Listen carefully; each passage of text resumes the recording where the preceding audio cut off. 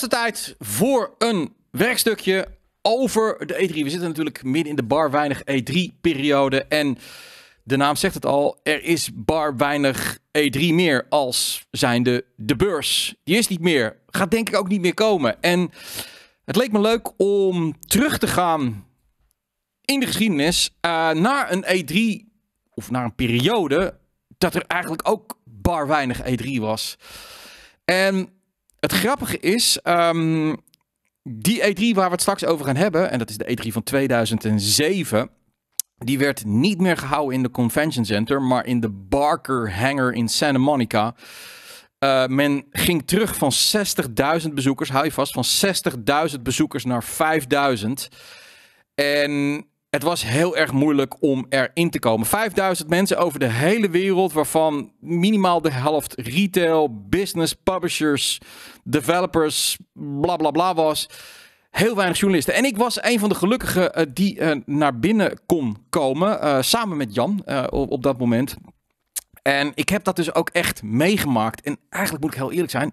Ik vond het de vreedste E3 aller tijden. Niet doordat ik wat ik gezien heb, maar iets anders. En dat, dat ga ik je straks vertellen. Um, ehm, 2007 dus. Het moment dat de E3 eigenlijk niet meer bestond. En je kunt dat moment eigenlijk gewoon rechtstreeks doorzetten naar 2023. Namelijk, waarom is er geen E3 meer? Dat heeft niks te maken meer met corona en pandemie. Um, het heeft wel wat te maken met recessie. Maar het heeft vooral te maken met dat de industrie, al die partijen, gewoon niet met elkaar door één deur kunnen komen. Allemaal hun eigen agenda hebben. Allemaal iets anders willen. De een wil wel betalen, de andere wil niet betalen. De een wil dit betalen, de andere wil dat betalen. Ze komen er niet meer uit. Er is geen gezamenlijke agenda meer. Er is geen wil meer om met elkaar een visitekaartje af te geven namens de game-industrie. De wereld te laten zien, jongens, Gaming is fucking awesome en is fucking huge. Kijk maar. Dat was de basis van de E3. Zo is het ooit begonnen. De wens van de industrie om een fysiek, visitekaartje te geven. Je weet wel, daar heb ik een, andere, uh, een ander werkstukje over gemaakt. 1995 was dat. Um, maar dat verwaterde elke keer, elk jaar begon het weer wat te borrelen en dan ging het toch weer goed. In 2006 ging het helemaal fout. Ik neem je even een beetje terug in de tijd. Uh, dit is een. Uh, een uh, ik kon geen materiaal van onszelf vinden. maar dit is even een. een, een ja, kan je zien. dit was de E3 2006. En laten we er gewoon even een minuutje naar kijken. Dan kom ik ook weer helemaal in de nostalgie. Ik was hier ook bij. Um, grote stands, bands. Kijk eens hoe fucking huge die stands zijn. Um, meer dan 60.000 mensen binnen. Uh, dat zie je hier nog niet zo. Maar ik denk dat dit bijvoorbeeld de media-only dag is. Um, uh, dat is altijd, er is altijd één dag, dan is het wat minder druk. Maar daarna wordt het veel drukker. Of het kan ook begin van de dag zijn. Uh, onderkant van de stand, bovenkant van de stand. T-Mobile, Warner Brothers. Even kijken wat we in de verte kunnen zien. Nou, dat kan ik niet 1, 2, 3 herkennen welke game het is. 2K, gigantische stands. Ik bedoel, Zo'n standruimte, alleen al Ubisoft, kost een paar miljoen. En dan heb je nog helemaal niks. Dan heb je niet eens fucking tapijt. Dan moet je nog die hele stand erop zetten. Je moet de mensen uh, er gaan neerzetten. Dus bemanning. Uh, vervolgens moet je de afspraken gaan maken. Moet je hotels voor die mensen gaan regelen. Je moet taxis betalen. Je moet de voeding. Je moet de feesten betalen. Et cetera, et cetera. Het is fucking huge. En het is peper, peper, peper duur. En um, het grappige is dit is voor mij een uithangbord. Dit, dit was een waanzinnig uithangbord. Iedereen had zoiets. What the fuck? Hoe vreed is dit? Ik bedoel, ik ken weinig beurzen en ik ben best wel veel naar beurzen geweest. Ook autobeurzen en al dat soort shit. Waar zoveel vibe hangt, waar zoveel te doen is, waar je zelf dingen kan doen. Autobeurs, hartstikke leuk. Maar je kunt niet in die auto gaan zetten en even gaan wegrijden. Vakantiebeurzen, het is allemaal een beetje langslopen. Een paar foldertjes meenemen, blablabla. Hier kon je meedoen, je kon gamen. De, de, de, er was van alles te doen. Dit is een uithangbord. Goed, hebben we even genoeg gezien van 2007. Want meteen na 2007 eigenlijk al. Um, en ik kan me dat ook nog wel herinneren dat op de terugweg, of eigenlijk de laatste dagen, al een beetje een soort van verhaal er rond deed. Dit is de laatste E3 ooit. En je zou zeggen, dude, fucking massive. Zoveel mensen, weet je wel. Dat is toch wat je wil. Ja, dat is wat je wil. Maar dan komt dus ehm, de agenda van al die verschillende partijen eh, langs de kant. Eh, had je een hele vette game, dan ging iedereen naar jouw stand toe, maar niet naar bijvoorbeeld de stand van jou als je wat mindere games had. Terwijl je er wel net zoveel voor betaalde. Ehm, mensen wezen naar elkaar, mensen keken naar elkaar. En het was gewoon heel erg duur en eigenlijk ook een beetje te druk. En dat kan ik wel onderkennen. Het was proppen. Uh, je had net vijf minuutjes de kans om even uh, een spel te spelen. Een vraag stellen aan de mensen die het, die het maakten. Dat was echt onfucking mogelijk.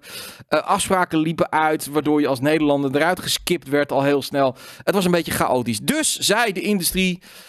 Um, ja, dit is niet wat we willen. Dit is niet wat we willen. Um, hier gaan we niet mee door. En op dat moment voelde iedereen een beetje, had, had iedereen een beetje het gevoel van: oké, dan, dan is het klaar. Want wat ga je anders doen? De ESA, en dat is de organisatie, die gaf het echter niet op. Um, die ging met uh, de mensen om tafel zitten. En um, uh, eigenlijk kregen ze verschillende verhalen te horen van die, die uh, publishers. Maar er was een soort van groep. En die groep werd aangevoerd door Sony, Microsoft, Electronic Arts en THQ. Ehm, eigenlijk in ieder geval drie hele grote publishers. En THQ was ook een hele grote op dat moment. Um, die gaven aan, we gaan hier niet meer aan meedoen. Het is, het is klaar voor ons. En dan viel al meteen een heel grote pilaar onder dat evenement uit. En de andere partijen, bijvoorbeeld Nintendo, dat zie je vaak. Nintendo doet altijd een beetje tegenovergestelde wat de andere partijen doen. Die vond het weer wel leuk. Andere partijen zeiden van, nou, ik wil nog wel meedoen, maar dan moet het minder duur zijn. Bladibladibla. Men kwam er niet uit en uiteindelijk heeft de ESA een beetje de knoop opgehakt. Want um, ja, wat, wat, wat zeiden ze eigenlijk? Ik bedoel, um, Doug Lowenstein, dat was uh, de baas van de ESA en ook de organisator van de E3. Die kwam op een gegeven moment met een statement in, in, uh, uh, in juli. En dat was eigenlijk al vrij snel na het, het evenement in 2006. En hij zei... Um, It is no longer necessary or efficient to have a single industry mega show. By refocusing on, uh, on a highly targeted event, we think we can do a better job serving our members and the industry as a whole. And our members are energized about creating this new E3. Een nieuwe E3, refocused, highly targeted. En dus kwam er opeens in plaats van de E3 Media Festival, want dat was het altijd. Iedereen, kom langs en bam, grote show. Het werd de E3 Media and Business Summit. Dat klinkt al meteen een beetje meer zakelijk. En wat was het dan? Um, de industrie wilde meer uh, een beter contact met retail, businessmensen en media. Oftewel face-to-face, -face, uh, uh, langer, zodat men meer informatie kon geven. De E3 was leuk, maar je kreeg als publisher nauwelijks de kans, of developer nauwelijks de kans om echt uit te leggen wat jouw game deed. En dat leidde nog wel eens tot verwarring. Dat mensen een game zagen, geen QA konden doen of geen vragen konden stellen, omdat je binnen vijf minuten weer opgesoderd moest zijn. En dan maar een eigen verhaal gingen maken. En dan. Ja, dat is natuurlijk ook geen goede marketing, geen goede PR. Zeker niet als je game gemisinterpreteerd wordt. Kortom, het moest het moest up and personal. Het moest, het moest een persoonlijk evenement worden. En dat werd het, want het evenement ging niet meer naar LA toe. Ook iets wat elk jaar weer speelde bedrijven die zoiets hadden van... laten we alsjeblieft uit LA weggaan, weet je. Die veel te warme, smoggy stad waar alles knijterduur is. Waar alles onhandig is. Uh, waar alles ver uit elkaar ligt. Laten we naar een andere stad gaan. Nou, men had het over New York. Uh, maar ook Las Vegas kwam vaak naar boven. Die zijn veel meer op dat soort conventions ingericht. Zit alles dicht bij elkaar. Hotels erboven. Bladibladibla. Um, dat speelde al de hele tijd. Niet zozeer dan in het geval van de E3 gaat niet meer door, maar laten we de E3 ergens anders doen. Waar het bijvoorbeeld misschien goedkoper kan zijn. Want elke staat heeft weer zijn eigen regels. En wie weet kun je een soort van belastingvoordeel halen. Uh, is nooit wat geworden. Het is eigenlijk altijd in LA gebleven. Maar nu ging het inderdaad wel nog steeds naar LA toe. Maar in plaats van downtown, wat toch eigenlijk een best wel naar en smerig gedeelte en vooral niet interessant gedeelte van LA is, ging het naar Santa Monica het coole gedeelte van uh, letterlijk cool, want het is vlakbij uh, het strand, ging het naar Santa Monica toe, naar een aantal hotels en de Barker Hangar. En in de Barker Hangar werden kleine boots neergezet. En ik ga even kijken hoor, want ik heb even gezocht daarna. het is fucking moeilijk om daar nog beeld van te vinden van die Barker Hanger. Omdat bijna niemand er eigenlijk natuurlijk geweest is. Uh, kijk, ik heb een plaatje hier en ik ga kijken. Het gaat bijna niet lukken om dit te laten zien. Nee, het is gewoon echt te klein. Ik, ik kan het je wel laten zien hoor. Ik bedoel, uh, dit is eigenlijk het enige... Uh, het enige beeld wat we hebben, wat ik heb kunnen vinden van de floorplan van de E3 2007. En je ziet al, uh, waar het normaal altijd de West Hall, de South Hall, de Kenty Hall en alles erboven was. En die West en South Hall waren huge. Dat waren immense hallen. Dat is echt de rij en jaarbeurs, maar dan veel groter. Is dit een veel kleinere hal? Uh, twee hallen eigenlijk uh, waar je in kon. Het was echt, ja, als je op Schiphol zie je ze soms wel eens staan. Als je dan, waar het zakelijk, of waar, waar meer de, de cargo wordt gedaan, dan zie je van die hangars. Daar kunnen dan twee Boeings in. Daar moet je een beetje aan denken kleine hang, uh, hangars waar uh, de games werden ingezet. Uh, er werden eisen gesteld aan de publishers. want een van de redenen. Kijk, de, de, de, de industrie had zoiets van. Ja, maar de E3 wordt steeds groter en bla, we betalen zoveel. Oh, oh, wat, wat erg, wat erg. Ik heb dat exact ook meegemaakt met First Look Festival. Het was natuurlijk eerst gameplay en werd op een gegeven moment First Look Festival. En ook daar good for me. Want uiteindelijk, uh, wij kregen natuurlijk inkomsten vanuit uh, de vloermates die verkochten. Maar de stands werden groter en groter en groter en groter en groter. Niet omdat wij zeiden van, jongens, ga nou groter. Nee, oh, Microsoft gaat zo. Nou, dan gaan wij twee keer zoveel. Twee keer zoveel. Oh, Microsoft staat uh, in die hal, dan wil ik in die andere hal. Ze, ze maakten elkaar helemaal gek. Eén verdieping, doen wij twee verdiepingen, weet je wel. Die dingen die kosten miljoenen. En het was gewoon te duur. Dus om dat te voorkomen, omdat er dan toch. Je kan wel tegen ze zeggen, we gaan kleiner. Maar dan gaat er altijd toch weer iemand proberen net iets groter te zijn. Was er een maximum. Uh, maximum voor, uh, voor de deelnemers. Uh, het mocht 100 square feet minimaal zijn tot maximaal 400 square feet. En dan ben ik even vergeten uit te zoeken hoeveel nou 100 square feet is. Nou, ik ga dat gewoon, ik ga dat gewoon even live googlen. Dan gaan we het even kijken. Gaan we even live, gaan we even naar Google toe. Uh, hoeveel is 100 square feet? Dan gaan we het er even ingooien. En dan gaan we naar 2 meter. En dat is... Uh, dat is 9 vierkante meter. Dat kan ik je vertellen. Dat is niet heel veel. Uh, ik weet nog wel, de laatste first look bij ons begonnen stands altijd bij 25 vierkante meter. Anders heb je eigenlijk helemaal geen ene K. Anyway, uh, hoe zag dat er dan uit? Uh, daar heb ik ook weer heel lang naar lopen zoeken. En uiteindelijk heb ik maar één video kunnen vinden van hoe het eruit zag. Het is ook logisch dat ik dat maar kan vinden. Ik zet hem nu even aan. Het, het, is echt crappy beeld. Maar dat komt vooral omdat het, uh, het, is, uh, het is versneld opgenomen. Ja, dit ga je niet filmen.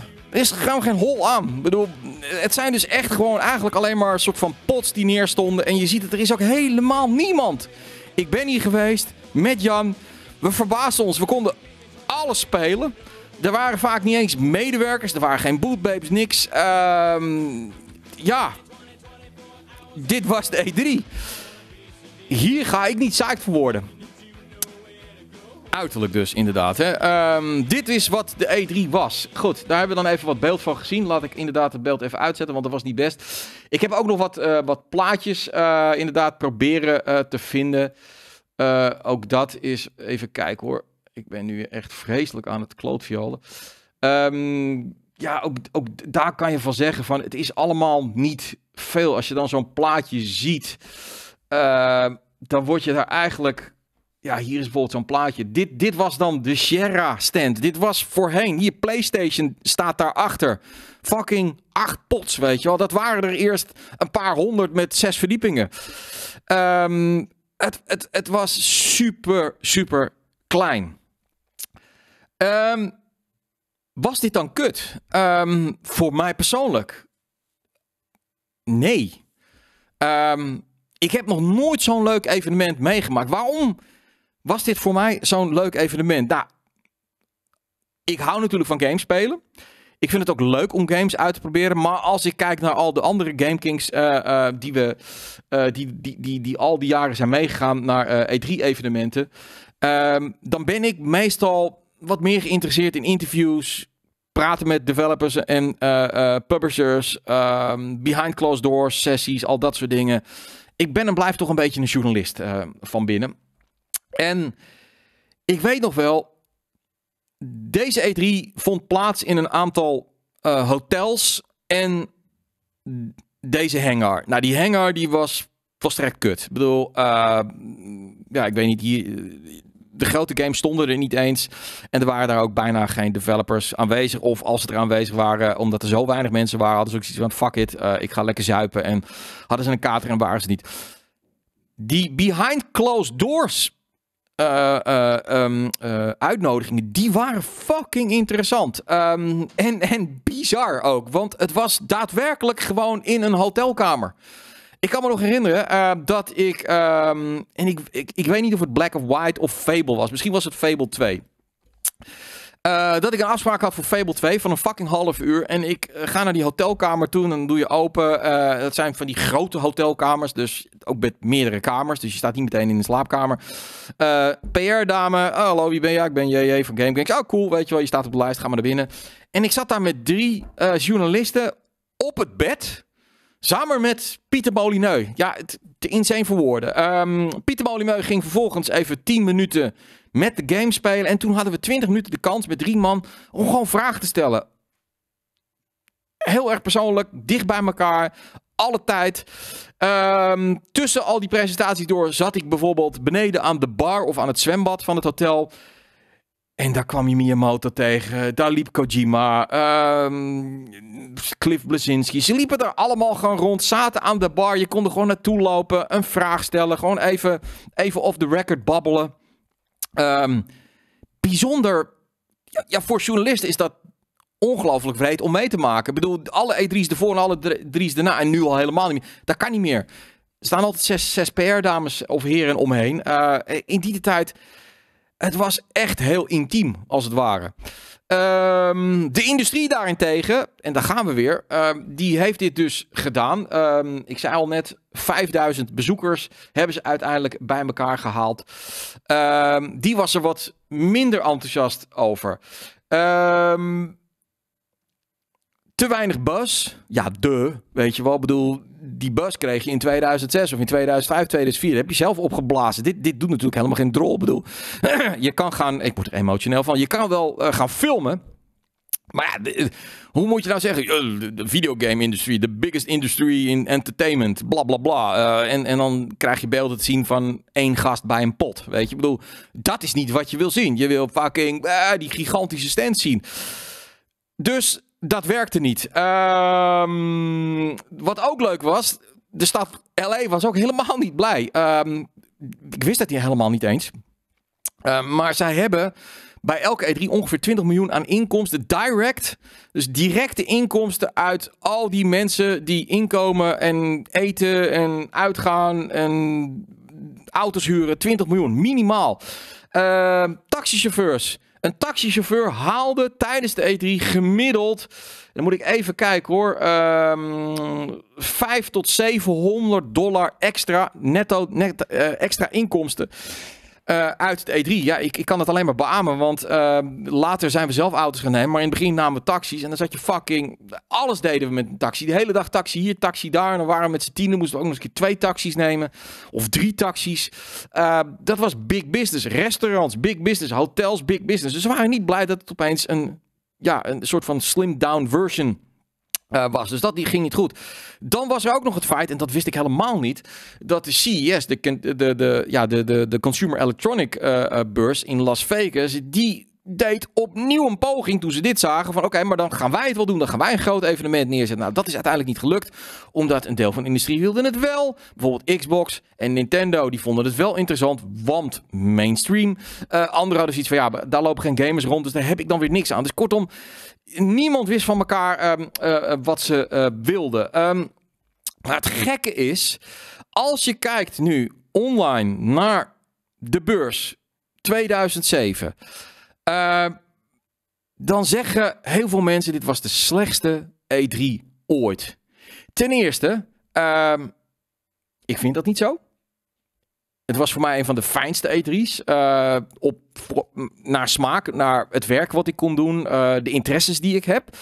Maar, en ik heb even gekeken, um, het was ook nog qua games misschien wel een van de vetste E3's aller tijden. Ja, het is ongelooflijk. Want Sony, Microsoft en Nintendo hadden ook alle drie nog een persconferentie van tevoren. Ben ik ook alle drie geweest met Jan. Want je kan, je, je kan nu overal in. Uh, die waren zeker tuned down. Minder grote venues als het ware. Maar God damn it. Uh, Nintendo had net de Wii gelanceerd. En uh, ik, ik weet nog wel, ik, ik dacht dat het een voorkomen flop zou worden. Nou, dat werd het helemaal niet. Tot, tot, tot ieders verbazing was het een mega succes. Dus uh, Super Mario Galaxy, Mario Kart Wii, Wii Fit, de, de balance board, um, dat kwam allemaal naar voren. Sony, Killzone 2, Metal Gear Solid, Little Big Planet, um, Wipeout HD, PlayStation Network werd voor het eerst uitgerold. Microsoft, die kwam met Guitar Hero, Project God Racing 4, Mass Effect en natuurlijk Halo 3. En uh, Peter Moore, je weet het wel met die tattoo, dat hij zei dat ze een exclusive deal met Rockstar hadden over Grand Theft Auto 4 DLC. Uh, het was ook de eerste E3 uh, waarin we uh, beelden zagen van Assassin's Creed. En daar had iedereen het over, inclusief X, ik. het was ook de E3 van Call of Duty 4 Modern Warfare. Waanzinnige game. Guitar Hero 3 was heel groot in die tijd. Uh, Bioshock, Assassin's Creed, Grand Theft Auto 4 um, ehm, beelden. Ja, het zou 2007, het werd uiteindelijk 2008.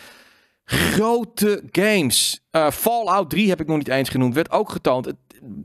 Insane veel vette games. En dus je kunt niet zeggen dat het een slechte E3 was. Devil May Cry 4 heb ik ook nog niet gezien. Rock Band, Ratchet Clank, Fable 2, Uncharted Drake's Fortune. Het wemelde van de vette games en die beurs die was super klein. Um, hele rare samenkom, uh, samenkomst van omstandigheden. Uh, dus het werd een topjaar 2008. Dus daarmee kun je ook wel zien van je hebt dus blijkbaar niet een hele grote E3 nodig om goed je games te kunnen verkopen. Dat is natuurlijk ook iets wat mensen vandaag de dag onthouden. Uh, toen ze besloten om niet meer mee te doen aan de E3. Uh, maar je ziet hier ook dat de industrie aan het, naar het zoeken is, naar de sweet spot. Weet je wel van. Oké, ik betaal dit, en dat is heel veel geld voor de E3, en ik krijg er dit uit. Uh, wat gebeurt er dan als ik minder ga doen? Nou, oké, er was minder bus. Maar als je kijkt naar al die games die uitkwamen dat jaar, dat waren zeer succesvolle games. Dus daar zagen ze ook al van, oké, we hoeven dus eigenlijk weer niet zo heel veel uit te geven als we toch... Uh, uh, toch, toch, veel, uh, toch veel willen verkopen, weet je wel, qua marketing PR. Dus de E3 is niet echt noodzakelijk. Nou, in 2008 kwam er nog een kleinere versie en daarna is men toch weer teruggegaan naar de grotere versie eigenlijk steeds doorgaan. En eigenlijk elk jaar was het weer, ja, gaan we nu wel door, gaan we nu niet door. Blijven in LA, blijven we niet in LA. Tot de pandemie erin kwam. En toen was de rek er helemaal uit. En vandaag de dag hebben ze natuurlijk veel meer middelen om games aan de man te brengen. Zeker bij de gamers. Uh, hè, de beta's, de streams, uh, social media. En toen was het helemaal voorbij. Um, goed. Ik vond het een vette E3. Het staat te boek als de slechtste E3 ooit. Er kwamen mega vette games uit voor. En dan is de vraag, deden wij er als GameKings dan helemaal niks mee? Nou, ik, ik was natuurlijk in mijn eentje samen met Jan. Ook volgens mij voor Power Limited uh, voor een deel. Dus we hadden geen camera's bij ons. Want ja, filmen dat kon ik niet. Maar ik heb ook even zitten zoeken, dames en heren. We deden wel wat. En ik ga even laten zien wat we dan wel deden. En um, ja, dat is, dat is bijna fucking journalistiek. Hè? Dit, dit is bijna NOS-journaal uh, als het ware. Gaan we even kijken.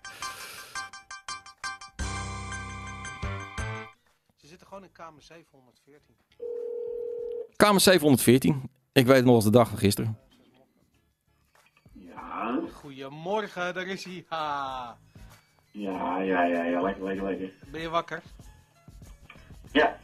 Ja, echt waar? Dan ik was helemaal wakker. Ik, ik, ik was echt al een uur op je telefoontje te wachten. Oké, nou dat is goed.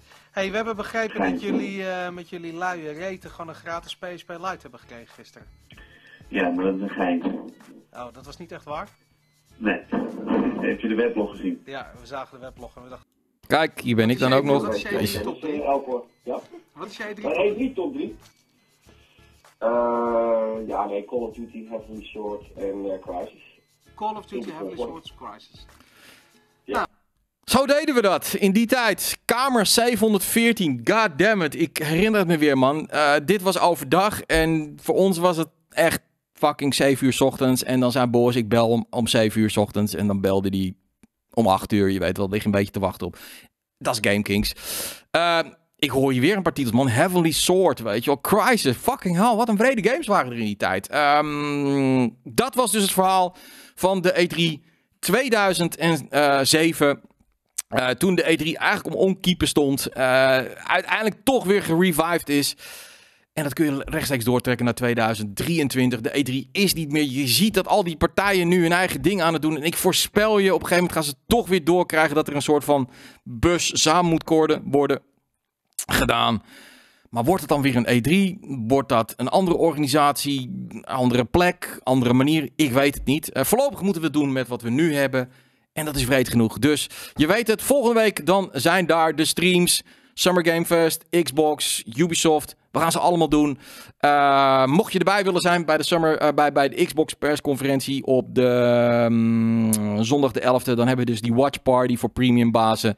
Ehm, wil je erbij zijn? Mail even naar ehm redactie.gamekings.tv. Maar we gaan vette content maken, want er gaan geheid vette games aankomen. Fuck, de E3 is niet meer, maar wij maken er nog steeds een E3-feestje van.